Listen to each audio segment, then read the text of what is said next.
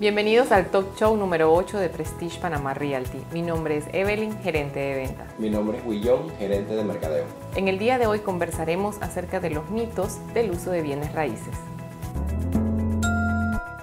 Son muchos los mitos que rodean el uso de bienes raíces o asesores inmobiliarios.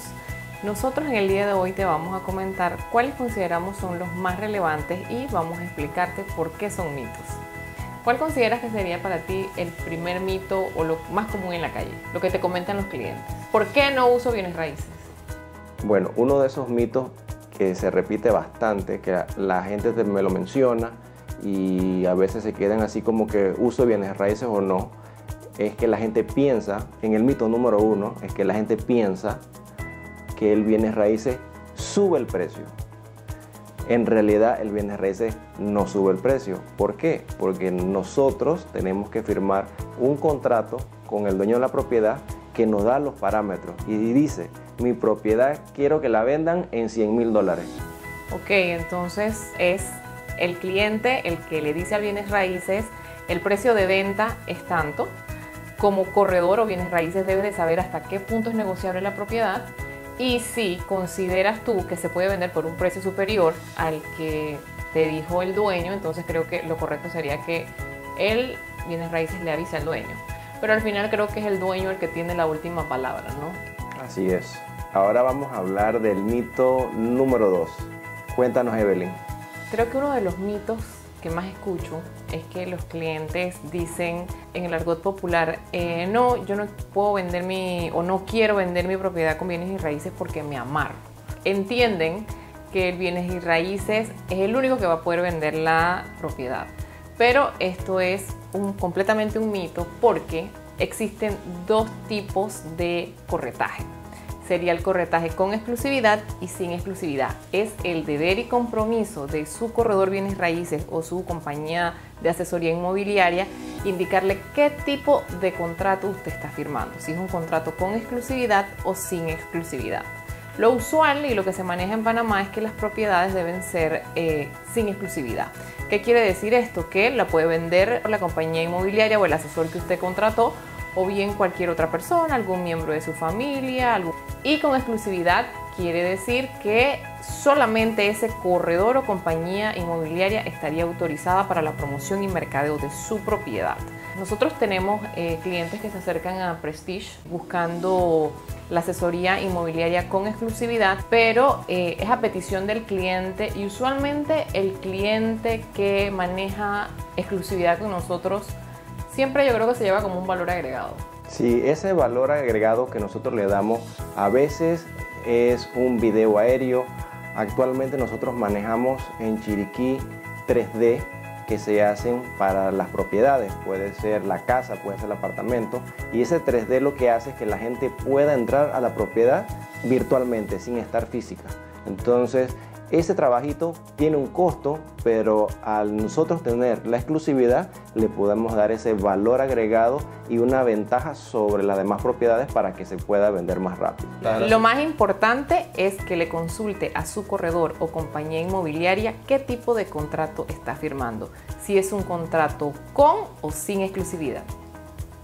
Mito número 3 no uso bienes raíces porque el bienes raíces solo me trae el cliente. En realidad, eh, creo que es bueno explicar que hay dos tipos, puede decir, de, asesores en este caso. Y creo que el que solo presenta al cliente y el dueño de la propiedad y el comprador terminan cerrando el negocio ellos solos, sin ningún tipo de asistencia o asesoría o intermediación, creo que a ese se le llama referido, ¿cierto? Eh, y el porcentaje de comisión a pagar a alguien quien solo hace un referido es completamente distinto al asesor o corredor inmobiliario que interviene en toda la transacción. Porque lo correcto es que el asesor o corredor bienes y raíces prepare contrato de promesa compra-venta, minuta, debidamente refrendada por un abogado idóneo, eh, colabore con lo que es la preparación de impuestos de venta, eh, colabore con todo lo que es el cierre efectivo de la transacción en notaría y colabore si es necesario con lo que es la inscripción en registro público de la compraventa. Entonces, eh, en realidad, un corredor responsable, serio, debe intervenir en esos cinco pasos, llevarlo de la mano. pienso que esa es mi, en mi experiencia, es lo que usted como cliente debe esperar de un asesor inmobiliario, de un corredor bienes raíces. ¿Tú qué opinas? El corredor de bienes raíces le puede llevar el cliente y desprenderse de la transacción. Esa es una comisión de referido.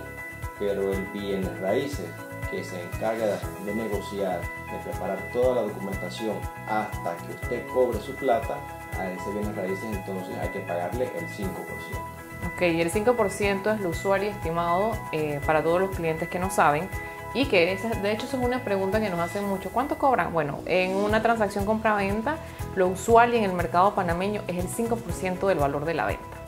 El mito número 4 es, tengo el corredor de bienes raíces, le tengo que pagar el 5% y además tengo que buscarme un abogado y le tengo que pagar también. ¿Eso es cierto o es falso?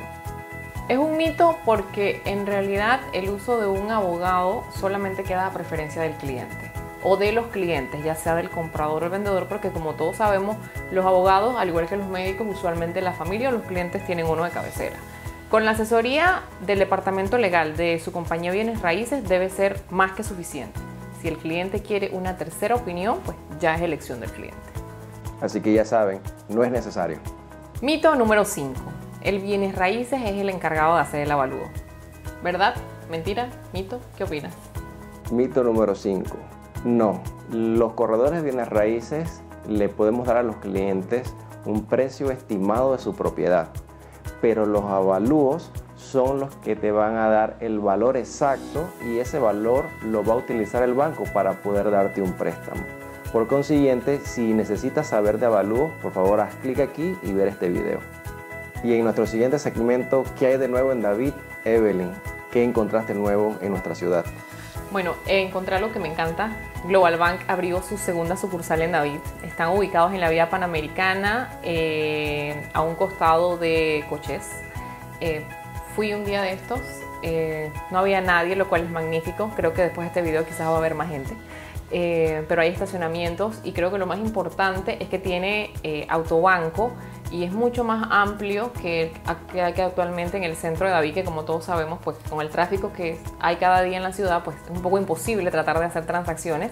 Pero bueno, ya saben amigos, hay una segunda sucursal de Global Bank, está ubicado en la vía panamericana. Ya saben, para la quincena. Y en el cupón de la semana, ahora que estamos hablando de Global Bank, el que está en el centro, cuéntanos Evelyn, ¿qué hay por ahí? Frente a los estacionamientos de Global Bank, está ubicado en, el centro de David, justo en el edificio Garden Plaza, está Mister y Mister Helado eh, para todos nuestros clientes y amigos que vayan y digan que vieron este video y van de parte de Prestige Panama Realty y recibirán un 10% de descuento. Eh, y aparte de helados, también tienen unos deliciosos mojitos con y sin alcohol, así que hay para todos los gustos, diferentes sabores, así que ya saben, pasen por allá. Gracias por ver nuestro video suscríbete a nuestro canal y si tienes preguntas, por favor escríbenos y así nosotros poder hacer nuevos talk shows con temas que a ustedes les gustan. Y recuerda que en Prestige Panama Realty la prioridad eres tú.